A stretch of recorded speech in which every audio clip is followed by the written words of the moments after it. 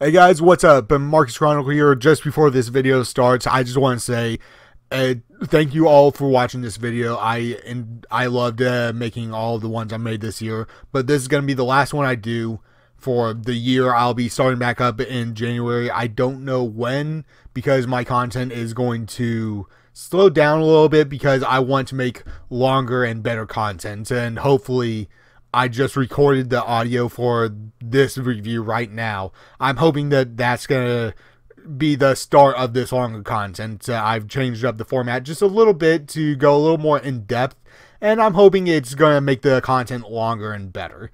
So if you like this video and like the way this uh, video is set up, please uh, like it and tell me in the comments below. And um, yeah, Merry Christmas. Thanks for watching and uh, I can't wait to see what we do in the next year. So, on with the review. It's Christmas once again, so let's take a look at another episode of My Little Pony. The episode A Hearth's Warming Tale is a parody of the Charles Dickens story A Christmas Carol.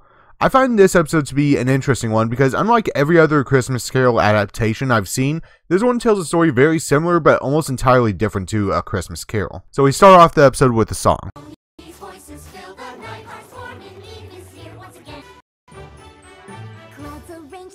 Just so heartwarming. is here once again. Chill wind blows, making a show. Snowflakes aglow. A day that's filled with songs to sing. Ding dong, ding dong, ding. The lyrics are nice, but what tells the song are the visuals, from the first shot of the town where everything is covered in snow and Christmas lights, to how Twilight's castle has been decorated for their party with every column covered with lights and ribbons, and every door with wreaths hanging above them.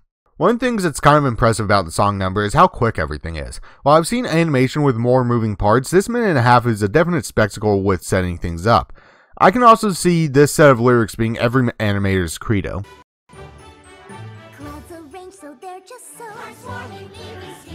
So after the song is done, we see Starlight looking over the festivities. Twilight comes along asking if Starlight is ready for her first heartwarming before Starlight commits blasphemy.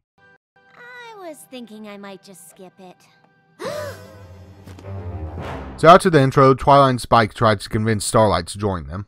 Heartwarming is about more than presents and candy. Just an excuse for silly songs and fun. Not a day to remember some old story. Right Hearthwarming Eve story yet. Earth ponies, Pegasi, and unicorns sing songs around a hearth to fight back an eternal winter caused by the mythical Wendigos. Well, that's a good way to sum up an entire episode. So Twilight reads Starlight a heartwarming tale, the story of a unicorn who hates the holidays. Our stand-in for the character is a Scrooge-like Starlight. Returning is her cult hairstyle along with the new glasses and a jacket. We see Snowfall Frost breaking one of the rules of alchemy, trying to turn what appears to be a regular stone into gold when the sound of a bell distracts her and she drops the stone, causing it to break. We then meet Snowdash, Snowfall's assistant. I'm not too keen on her design in this. While not the worst, there's just something about her hair that throws me off. After a comment by Snowdash, Snowfall gives us her idea of how everyone should act. And use your skills to better Equestria. That's a worthy goal for any pony. But by all means, if you want to go home early, spend the rest... We follow this up with our second song of the episode. While it is nice all the music in this episode is, I once again have to give the visuals more praise. It could be that we are in a more English city and many of the characters have interesting designs from their varying clothing, or maybe it's because of how Blaine Snowfall is channeling the Grinch and stealing all the decorations and presents she happens by. Holiday. With my magic, I'll erase it. After you say goodbye to the holiday. So Snowfall casts a spell to get rid of the holidays. I really love this idea because every other story is just retelling of the Christmas Carol with very few variations. I hate the holidays! You don't say. Well, bah humduck. Bah humduck? I like that. Bah humduck.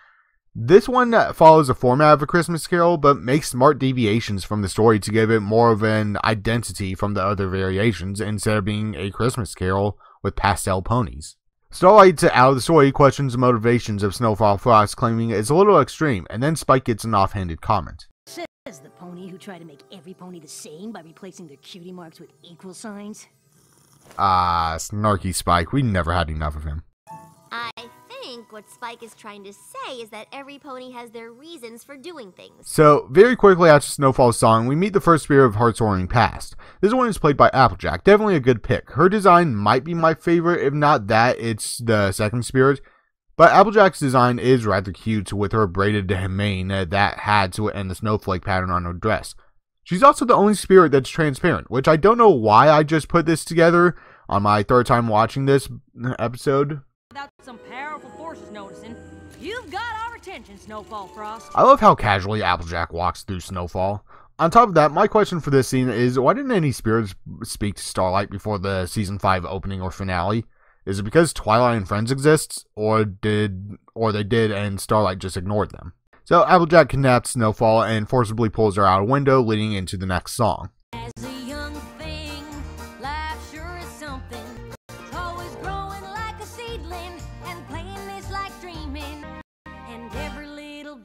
I love this song. It's the first one that the lyrics are far nicer than the visuals that are matched with them.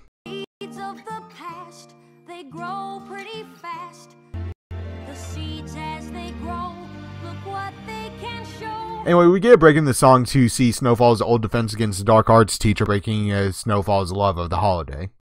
Spend your time learning to become a powerful unicorn, or play with your toys and make nothing of yourself. In some distress, words so careless, feeling helpless, we can't make it hurt less. We grow up so fast, some hurts never go away. We see Snowfall awaken back in her workshop where she meets the spirit of Heartwarming Sugarcoma played by Pinkie Pie, another good choice.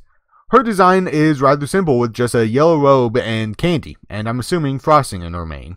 But I do like it. So Pinkie introduces herself, and I love how quickly Snowfall is done with her antics. Is how they telegraph her annoyance with just a movement of her eyes. If you're kind of watching the episode and not paying attention, then you'll miss it. So Pinkie tries to explain that the holiday isn't about the presents, but about what they mean. And then we get our next song. This one is one of the best songs visually and lyrically. Everything is just so upbeat that you can't help but get drawn in.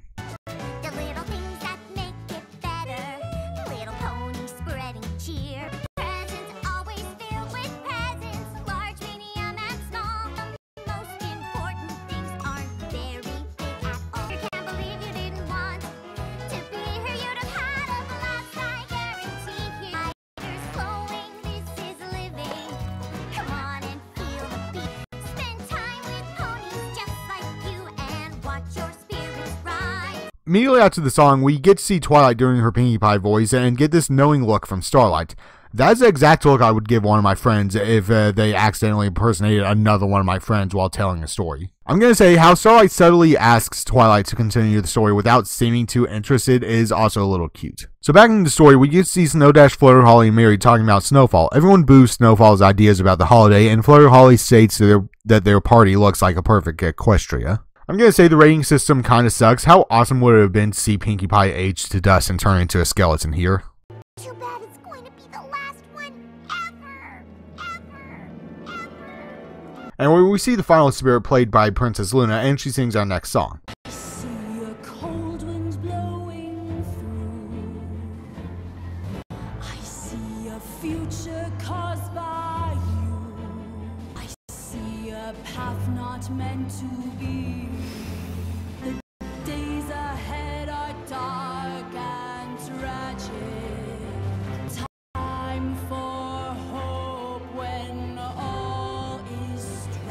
The song easily has the best lyrics and some of the best visuals with the dancing ponies made from magic and the wendigos that appear. I am a little torn on the song in general though. While I do like the song and it's sung well with probably the best lyrics in the episode, I'm a little torn because in the original story and every adaptation I've seen, the Ghost of Christmas Future doesn't speak, letting the true horror of Scrooge's eventual death become a much darker reality. However, if I could change this part to have Luna be silent, I wouldn't. I don't think you could tell everything needed for this segment in the two minutes this episode had to wrap up the story and have Snowfall change her ways. Even then, the two minutes they had wasn't nearly enough for the story. For the three songs we get with the spirits, I would have to say that two of them are too short while one of them is too long. I don't know. Applejack's song just feels a little too fast paced, while Pinkie's song is a little too slow paced. Maybe it's because Applejack's song is supposed to touch on that nostalgic feeling and people get making it feel longer, but they don't quite do that. And Pinkie's song, well, hats pink by singing it so they can do a much more fast paced uh, song to get a little bit more time in the episode. Luna's song is clearly too short. It's supposed to be the most impactful song, showing how Snowfall's actions will cause the world to be in a worse place. If she succeeds in her goal, others will die and the world will be covered in a blanket of winter so thick no one could survive. If anything were to change, I would give another minute to the future of Hearth's Warming yet to come to help draw out the realization of what Snowfall is doing is wrong, and I would have changed up the opening to keep Luna a little more silent and have Snowfall put together that she's the spirit um, of uh, future Hearth's Warmings, and only have Luna start talking after Snowfall asks if she's there to show her the future Hearth's Warmings yet to come. Anyway, Snowfall learns the lesson that the spirits were trying to teach her and shows up at the party that we saw earlier.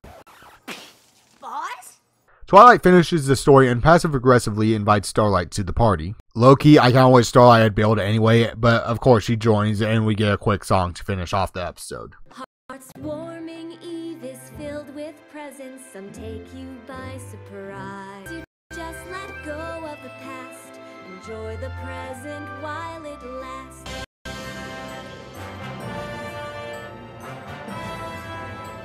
Now it's time to celebrate. Hearth's Warming Eve is here once again. Out of every Christmas episode the show gave us, this might be my favorite. Either this one or the best gift ever, the hour long special I did last Christmas.